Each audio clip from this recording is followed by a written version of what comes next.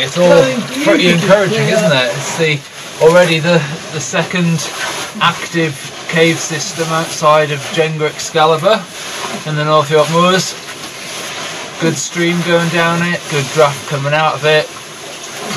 60 metres vertical range, 4 kilometres horizontal. What's not to like, really?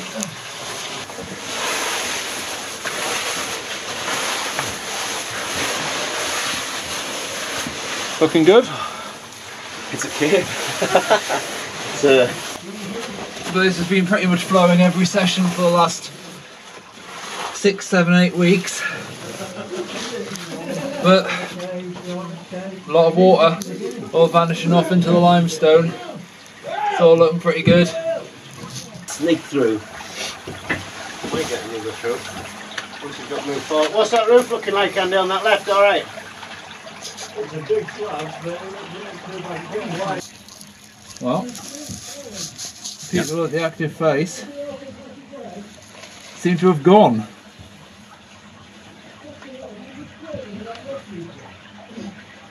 And I think we might be advancing forward.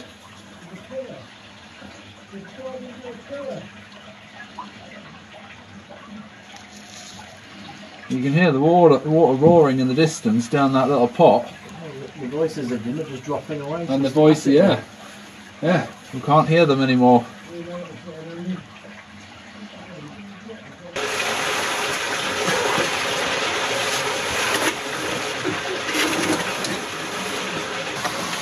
Up ahead we have a chamber, or behind me, um, it fits seven people in I think, quite big enough, and there's a stream passage going off. A flat out bedding like Ship Creek.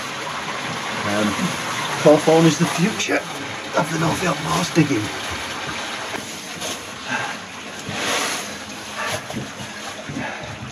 Very good. Very good. So behind me, about seven or eight meters of wriggling through blocks, sort of with the streamway, uh, mostly a, a sort of a foot or so underneath us, and then it it comes out into a uh, a- chamber, sort of breakdown chamber. I mean, we think we had something like seven people sat in it at one point. and then uh, some pretties, some style. Feels like caves, you know, float, bit of flow stone on the walls, solid roof, really good roof, but still boulders jammed everywhere a bit precariously. Um, and then beyond that goes, drops down actually to the streamway through a little hole, and the way on is like a flat out, and it really will be a flat out crawl in the stream. Uh, there's a mud dam at the end that just needs to be demolished, and you'll probably be able to get through to what looks like another tiny chamber. And it's unclear whether the way on at that point is still with the streamway or back up onto blocks again. But it's still going. I mean, that's 15 meters tonight, maybe, maybe a bit more. Um, and it's it's becoming the further in we get, the more it's becoming like a proper a proper proper river cave. Um, the less choss we're encountering and the more sort of solid the walls seem to be becoming. So oh it's really exciting. Really really good. See what Connor reckons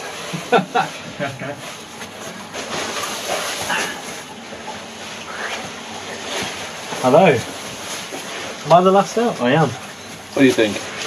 Yeah, I think uh, I think 15, 15 meters is is possibly a bit pessimistic. I think you're looking at 20, and the the, the final chamber is significant with you. Yeah, it's just stunning. Really, really, and it goes on, and you you drop down into the streamway, and the walls of it all the way around are are stream formed. In my humble, uninformed opinion, I'd say. Yeah, it's. Uh, can't wait for next week. Excellent.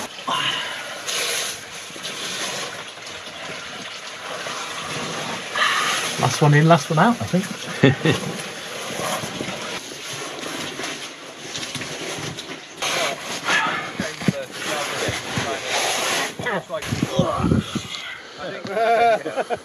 What, on the pipe? Well, Um, there's a battery there, as uh, Sparky so concisely said, I don't turn up for two weeks. and you fuckers put on about 50 foot onto the cave.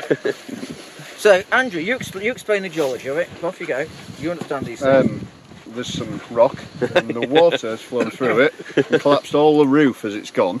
And we've pulled the rocks out and got through to the other side where there's a vast chamber. Uh, A well, lovely it's not chamber. vast, is it? It's- Well, we just fit. Well, it- fit- it's- It's Yeah. the largest chamber in the No, system. You're wrong. It's eight people size. Actually, it's not seven. Sorry. It's all right.